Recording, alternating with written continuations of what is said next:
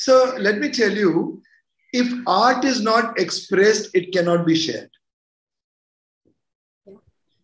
अगर आप में कुछ है तो लोगों ने बुद्ध को बताया था कि आप बोलिए। अगर आप बोलोगे नहीं तो अगले को पता कैसे चलेगा चलेगा कि आप में क्या घटना घट चुकी है। How will you share your wisdom and light with us आप बोलिए। So he was compelled to speak also so art can only come to life when it is shared. So art is exchange of energy that's number 1 so if yoga is an art which has to be shared as an exchange of energy to seed the growth in the future of tomorrow for the achievers of tomorrow, leaders of tomorrow, champions of tomorrow, it has to become. Now, the word compulsory and mandatory, these are two words which are a form of violence.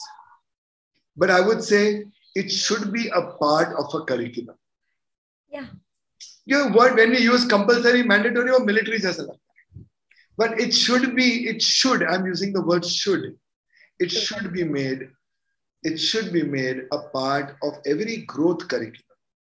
So, children's growth curriculum should have yoga because yoga comes from Sanatan Dharma of Indus Valley civilization. जो Indus valley को हिंद बोलते थे हिंदुस्तान बोलते थे उसकी वजह से उसको हिंदू बोलने लगे the word Hindu was given because of the etymology of all these words put together, Indus Valley civilization. And Sanatan Dharma was not a religion of control, it was a way of life, it was a culture, it was an art of living. So, yoga is actually religionless. Yoga is borderless, boundaryless. Yoga is actually confluence of energies of yin and yang.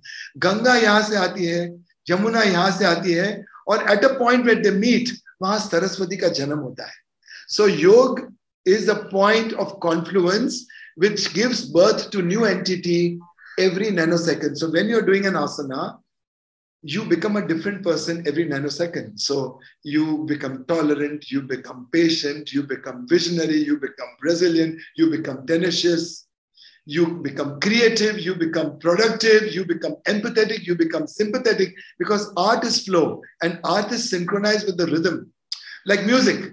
So music is synchronized with the rhythm of this universe.